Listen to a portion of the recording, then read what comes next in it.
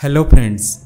Welcome to a new episode of Strat India, where we discuss about the latest developments happening in Indian defense sector and its allied countries around the world.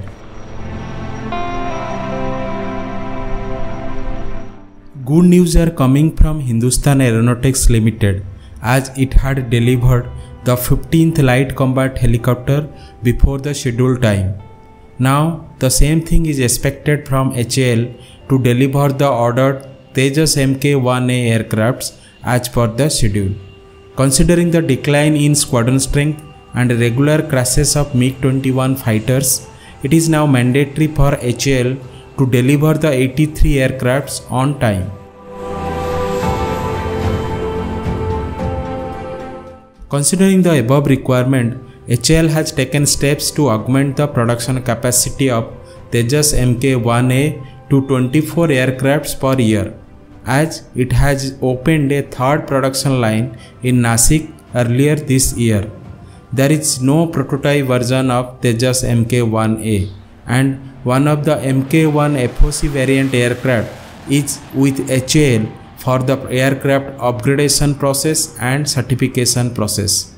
The aircraft is flying as a test bed for the last one year and equipment certification process is under progress.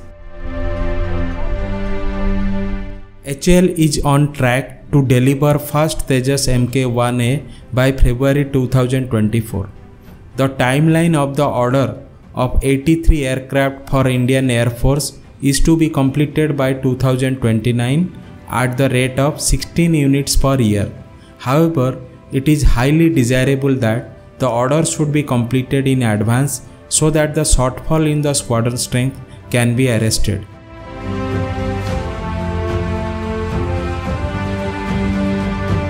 The Tejas Mark 1A, which has more than 43 improvements over the Mark 1 variant, will have a better turnaround time.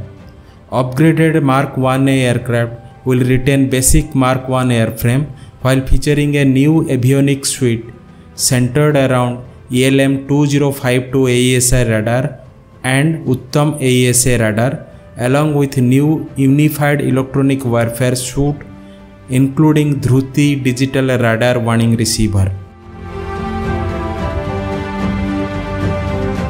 Since there is no change in the airframe, the IRST sensor could be pod mounted.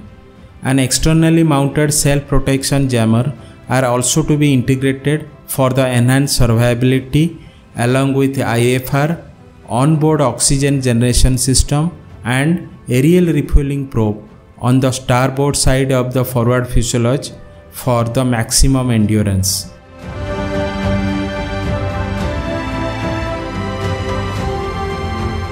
The Tejas Mk-1A weapon suite will consist of I-Derby ER and Astra beyond visual range air-to-air missiles and R-73 Python 5 and ASRAAM close combat missiles. The aircraft will also feature a dual pylon rack to carry additional BVR or close combat missiles. European Defence Major MBDA is also in talk with HAL to integrate the 5000 km range Scalp cruise missiles in Tejas Mk-1A. In addition to that, the aircraft will also to be integrated with indigenously developed BrahMos NG cruise missiles and Rudram anti-radiation missiles, thus making it a truly swing role aircraft.